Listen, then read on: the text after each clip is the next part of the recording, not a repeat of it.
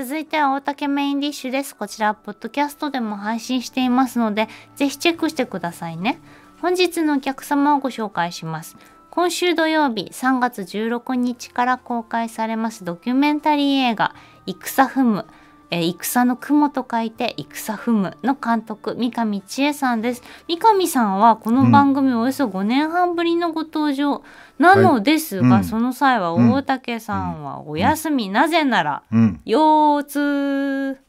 あそうでしたか。そうでした。帝徳腰痛でお休みでして、今日は大竹提督と初対面、よろしくお願いいたします。もう腰痛の頃はもう5年半も前になりますかあれは。しかもですね。はい。今日、三上さんは、あの、骨折をしている真っ最中でございまして、オープニングトークをまるで地でいくかのような、あのエピソードをお持ちでいらっしゃい、はい。はい、どこで骨折したんですか？はい、あの挨拶していいですか、三上千恵です。はじめまして。前回ね、あのお会いするの楽しみにしてたんですけど、大竹さんと。申し訳ございません。はい、なんかあのすごい腰痛で出てこられないということで、で今回は私が骨折したままこう来たという。い。やなんかね普通にね商店街を歩いていて、ちょっとヒールのあるスニーカーでこきって、別に手もついてないし尻餅もついてないから、捻挫ぐらいだろうと思ったらですね、もうすっごい痛くなってきて動けなくなってきて。で折れてたんですよ。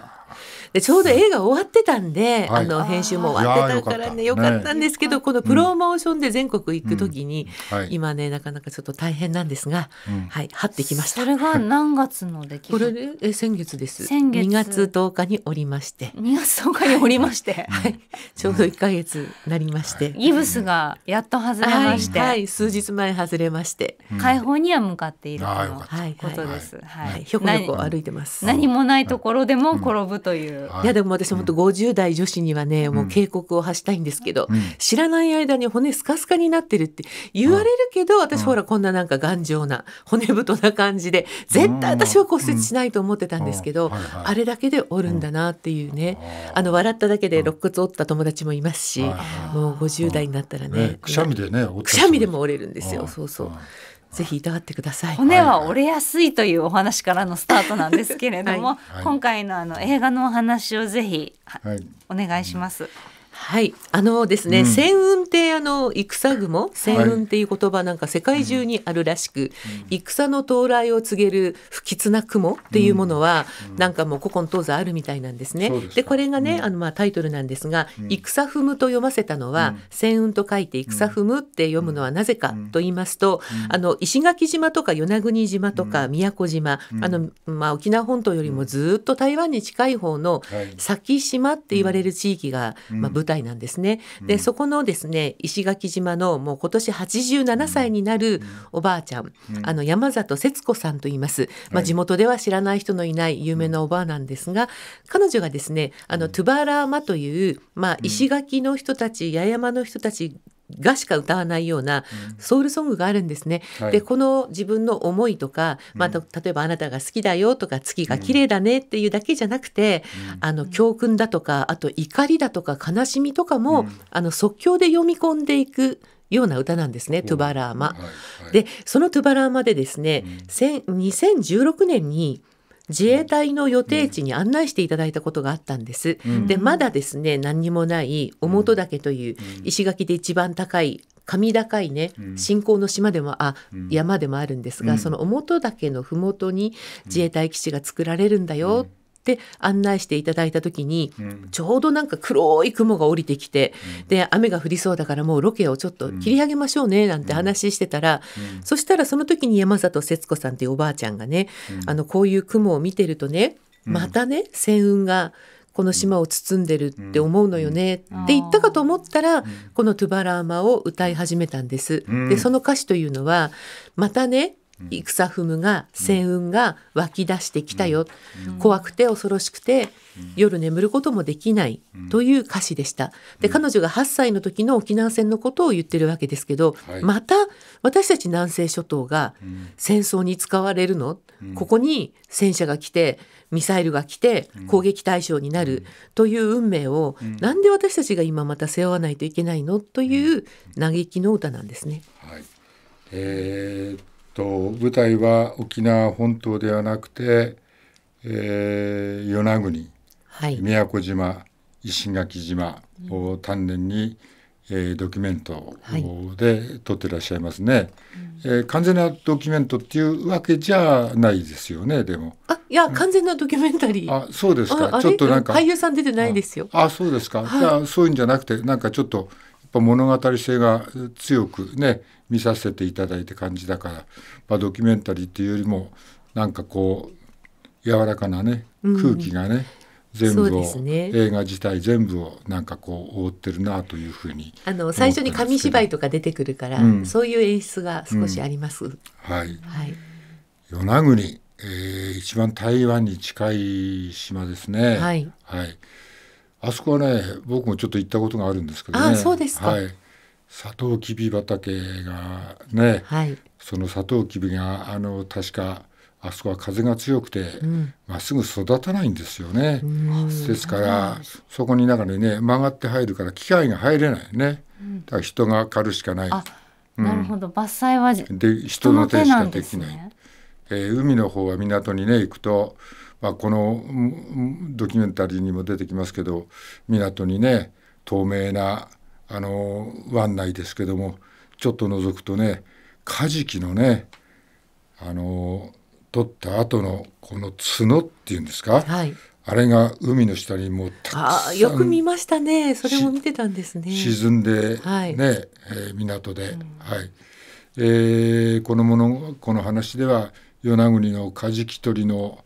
時差が出てきますね。はい、うん。あのまあ基地とかね、まあ、戦争とかをめぐるお話なんですが、うん。それだけだとなかなか見るの辛いので、うん。一応ねあの主人公の方が、あの与那国の久部良っていうとっても有名な漁師町があるんですね。はいでそこのあの80歳近くになるおじいが主人公で,、で今おっしゃったようにカジキってあの300キロとか400キロとか、はいはい。もう人間の倍ぐらいあるようなね、大きな、でしかも角が、ノコギリみたいな角があってですね、でこれに刺されて亡くなってしまう漁師とかもねやっぱり今までもい,、いっぱいいらしたんです。うん。で私が与那国に通い始めてこの映画撮るために、でこの人主人公にしようってとってもあのキャラのいいおじいだから、この人にしようと思った矢先にですね、電話かかってきて「三上さんもう無理だよ」って、僕主人公無理だよ」って電話かかってきて、それでもう死にそうになったって言われてもちろんその事故の場面はないんですが、ものすごい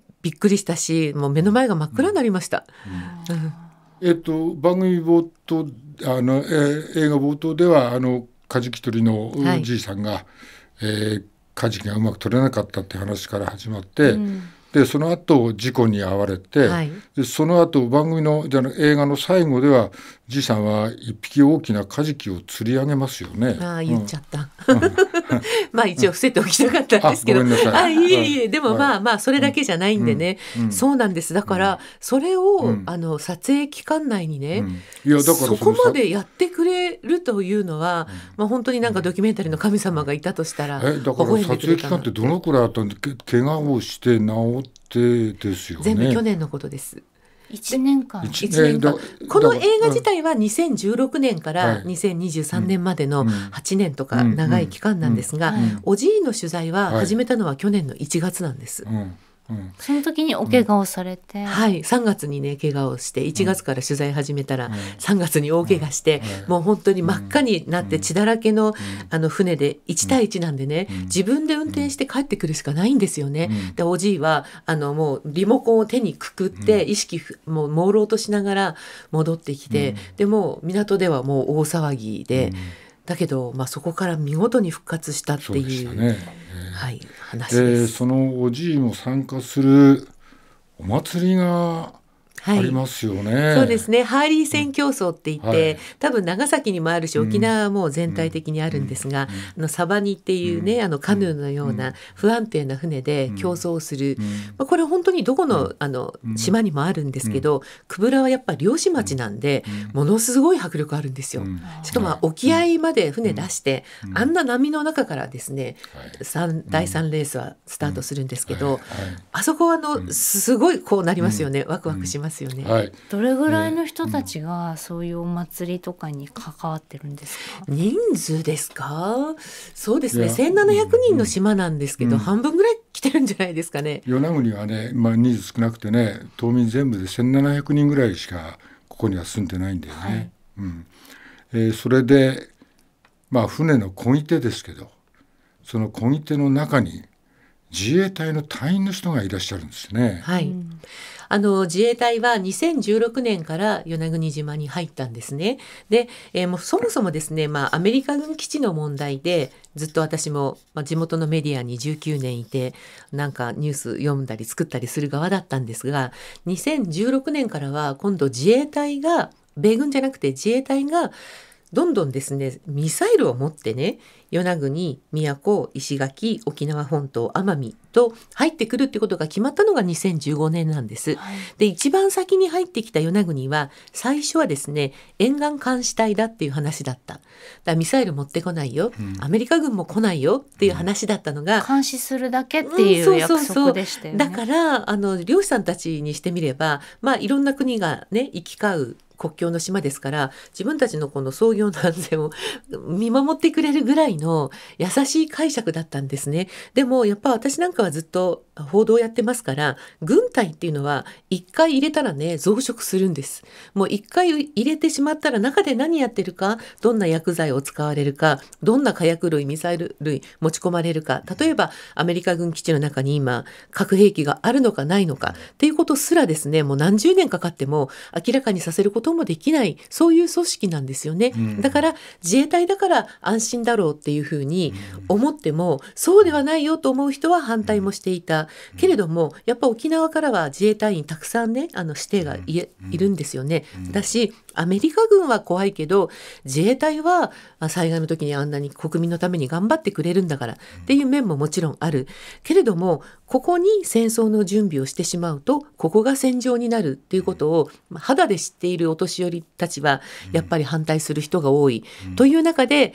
2016年に沿岸監視隊が作られた。けれども去年決まったことはミサイル基地も持ってきますよ。でアメリカ軍も来ちゃいました、で戦車は1回来て帰りましたけど、まあ、戦車も多分これからも来るしでパック3は今常駐しているという、だからあのこんなはずじゃなかったっていうのが、まあ、与那国ですね。で一番私があの、まあ、情報としてですね日本中が知らなきゃいけないのにうん。知らないと思っているのはその武力攻撃事態っていうふうに政府が認定したら、まあ、それは武力攻撃で戦争ってことですけど、その一歩手前の武力攻撃予測事態っていうふうに政府が認定したと同時に1700人は島から出ないといけないっていうふうにまでなってしまったんですね。で沖縄県全体がまあそういう有事になったら逃げなきゃいけない地域隠れなきゃいけない地域と去年からされていて、でその中でも宮古石垣与那国は当該避難島の外に避難、だけどあの簡単にね自分の家や島を捨てて出られる人っていないですよね。どこに行くっていう話になりまがすよね。そうですね、これが発表されたのがあの、まあ、ホームページに載ったのは与那国で言えば4月の頭だったんです去年の、うん。でもそれで見たら避難先九州各県って言ってなんか白地図みたいなのがあって、各県って言われてもっていう一体どんなところに例えばじゅあのどういう保護を受けながらどのぐらいの期間？しかもじゃあ九州はその時に戦争になってないっていう保証もあるかどうかもわからないのに、で1,700人をなんとか船と飛行機でね1日で避難するためのシミュレーションがあり説明会があったんです。でその時にあのソナイっていう集落の1回目の説明会であの荷物は1人リュックリュック1つまででリュック一つまででで集合場所の公民館までは歩いていく。そこからはバスで港に行く。そこから船に乗る。っていうそのなんか変な旅行計画みたいなものを見せられて、もう皆さん絶句してで一人の人が「あのすいません。これおやつはいくらまで持ってっていいんですか?」って嫌味でね 言って誰ももちろん笑わなくて、でこれのリュック一つでこれどういうことなんですかね？あのまあ町のねトップは、安心だからって言って自衛隊を入れました。うん。でさらにミサイルも持ってくると。でもそれもミサイルがあった方が安心だっていうことでどこよりも先にミサイルも入れます、でもねなのにどこよりも先に避難しなきゃいけない地域になんで与那国島がなってるんですか？話がおかしいじゃないですか、で全員一日で出ていくって言われてる島は今与那国しかないですよね、って質問をするんです、でもそうやって政府が予測事態なんか何かの拍子でドンパチが始まってミサイルが近くに落ちたってなった時に、政府が予測事態になりました。逃げてくださいって言ったら、逃げないといけないのか、で牛とか馬とか飼ってる人は、もうね何百な何百万円って借金もしながら投資してやってるわけですよね。一、日でもいなかったら子牛たちは死んでしまうんですよね。でそういう人たちに避難しろって言われて、どんな気持ちで生きているかどんなに悔しくて辛いかっていうことがニュースにならないで、一体何がニュースなのかなと思うんですよ、全然全国のニュースになってない。本当に全国のニュースに沖縄だけで新聞は書いてるんですか？その全国のニュースにそれが伝わってきませんね。うん全然なってないですね。でうん。うん。でもあの沖縄県内でもですね、うん。沖縄本島と、うん。あの宮古石垣をなんか、そうか。すごい離れてるんですよ、はいはい例えば青森と東京ぐらい離れてるんですね、はいはい。うん。青森の人が東京のね、うん。地域の困ってることに、そんなに関心が持てないのと同じぐらいの距離感があるんです。なるほど。意見がとか声が聞き取りにくいってこと、今状況なんですよね。そうですね。だからこの不安に思ってること、それからまず第一に実感が湧かないですよね。その与那国が全島避難って言われても、はいいやそんなこと言われて本当にそんな風になるのって。いつ帰ってこれるのかも知らされて、はい、であの太平洋戦争の時はちょうど同じぐらいの規模の硫黄島が全島避難になって、でもちろん終われば帰れるっていうはずだったのが帰れてないですよね、だからあんな風になるんじゃないかっていう不安もあるし、はい、ものすごいもう都と石垣は、与那国がそうやって避難する時にやっぱり12万人なんですけどねあの地域、12万人が避難するっていうシミュレーションを、まあ、自衛隊の指導のもとで沖縄県でやってしまっているんです、もう今年2年目、そういう頭上訓練はやってるんですよね、でもそれもなんかなんで全国の人が知らなくていいはずないのに、報道がねもう目詰まりを起こしてるとしか言いようがないですそうね。ですね。えーあっという間に基地ができて、あっという間にパック3が配備されるんですよね。はい。軍の港が出来上がるのもももうあのね、軍の港はまだ全然手をつけてないんですが、うん。でもあれはね樽米湿地って言って、あの琉球列島最大の湿地で、もう本当に手つかずのなんかあの天然記念物の宝庫みたいなところで,、であの今問題のあの辺野古の大浦湾もね、うん。ものすごい生物多様性の豊かなところで,、でそこに何兆円っていうね、うん。もうバカみたいにお金をかけて完成するかどうかわからないのを今も作り続けているわけですが、はい。樽米湿地もそれに次ぐぐらいの、うん。ありえない規模をうん。掘り込んでいくことになるんですよ。うんだからまあこれは今からまあ鳥類の研究者とか、まあいろんな自然の方々がですね、今立ち上がろうとして環境弁護士会とか動いたりし始めたところなんですが、うん。でももう,、はい。もう予算は動いてますね。あのドキュメンタリーの中ではその湿地帯を遠くから俯瞰で映した映像がはい。ずっと綺麗な映像が続くんですけど、実はそこはこの後、えーそういうのがあ軍が持って行って別の施設をそこに作ってしまうと。はい。そうなんです。でね、これは、あの、実はですね、その特定重要拠点という、なんか、うん平易な言葉ですが、日本中がですね、今、港湾、港と、それから空港を、軍事使用を優先的に使えるようにするという条件付きの整備に入ってるんですね。で、それは沖縄だけじゃないんですよ。北海道から沖縄まで全部です。で、今、あの、国土高端化っていうね、戦前みたいな言葉が叫ばれていて、国土強靭化、高端化、つまり半年や1年の戦争に耐えられるように、いろんなあの軍が使うところから優先的に丈夫にしましょう。で F35 が使えるぐらいの滑走路にしましょう。でアメリカの大きな軍艦も日本の軍艦もつけられるような軍港にしないと長い間戦えませんよね。ということで防衛省主導のお金で全国の港湾と空港がこれからリニューアルされていくんですね。その場所は30箇所とか40箇所とかあの記者によって調べ調べた数が違うんですが、でもそれをねみんなやっぱりインフラ整備は田舎であればもう本当に歓迎ですよね。直接的にお金が来るし。あと大きな飛行機が来られるようになるとか。でもちろん離島でも避難する時に大きい船来た方がいっぺんに避難できますよねとか、はい、あと観光客が大きい船でたくさん来ますよって言われたら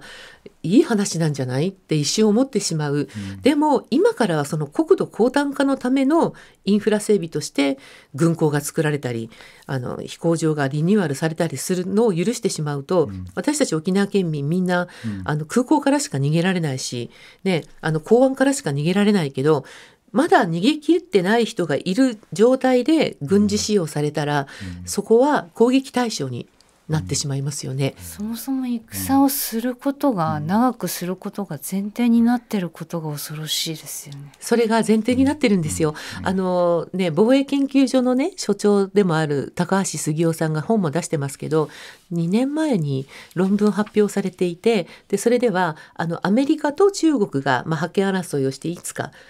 何かこう軍事衝突をするときにどちらが勝つかというとアメリカ軍が勝つだろうだけれどもアメリカの軍事力全部世界中に散らばっているものをあの、まあ、例えば中国の戦略だったら日本列島がねそんな戦場になるという想定なんですが日本列島にみんな持ってこられるまでに半年から1年自衛隊とか韓国軍とかで持ちこたえないといけないっていう考えをその方は少なくとも防衛省の人ですけどやってる。ですよ。だからその時間稼ぎのためにっていう発想が全くこの79年前のね沖縄戦をまた繰り返しているようにしか私たちには見えないので。えっ、とあれですね住民で署名運動も行われたんですよね。はい、だけどその署名運動は日の目を見てないいうことが。そうなんですよね、うん、この住民投票っていうものを沖縄では繰り返しね県のレベルだったり、市町村のレベルでやってますが、その今おっしゃったのは昨日ね、あの結論が出た、えーと交際が、まあ、差し戻しになってしまったのは、石垣島の若い人たちが中心となって、石垣島の運命はね例えば自衛隊を入れて発展させる。だから自衛隊入れないで平和を守るとか、それは自分たちで決めましょうよっていうことをやりたいって言って2017年かな、その運動が始まっていく、若者たちがね。若者たちが立ち上がって、でも本当にですね石垣島のあの年取って一生懸命やってきた人たちも、これで大丈夫だっていうすごい光光が見えた瞬間だったんですが、うん、それが、まあ、あの条例がね石垣市の条例を石垣市議会がそれをやるかどうかっていう最中に、まあ、うん、プレーしながらルール変えるような形で潰しちゃったんですよね。うんはい、ということの裁判がまだ続いているんです。あのー、あの方知事はい。玉城デニー知事。には今何ができますか？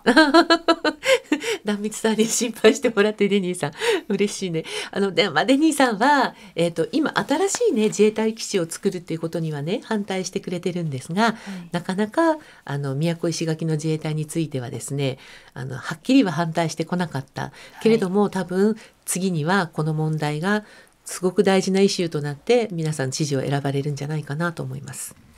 まあ日本は諸問題抱えてますけどね PAC3 が配備されるとかっていうことは、はい、もう今のこのガザ地区とか見てると、はい、まあそういう地上戦みたいなことが想定されるって意味合いが強くなりますよね。そうですね。なんだかんだ言って核兵器が使われる前に地上戦っていうことがずっとこの間あって、うん、で沖縄ではあの明日のねガザだ、沖縄は明日のガザじゃないかっていうスローガンが出るぐらいなんですよ。与那国であの牛をね、はい、何頭も育てていらっしゃる酪農家の方がいるんですけどね。その方は大事な牛を捨てて全島民避難に参加しなくちゃいけない、はい、はい、行かなくちゃいけないっていうことで。えー、ものすごい深刻に悩んでましたね。さてそんな三上千恵さん。監督最新作のドキュメンタリー映画「戦踏む」戦の雲と書いて戦踏むですポレポレ東中野などを皮切りに全国順次公開されます。また同じタイトルの本も発売されています。戦踏む要塞化する沖縄。島々の記録は集英写真書より1320円で発売中です。そろそろお時間が来てしまいました。今日はありがとうございました。本日のゲストはジャーナリストで映画監督三上千恵さんでした、はいどうもありがとうございました、はい、ありがとうございました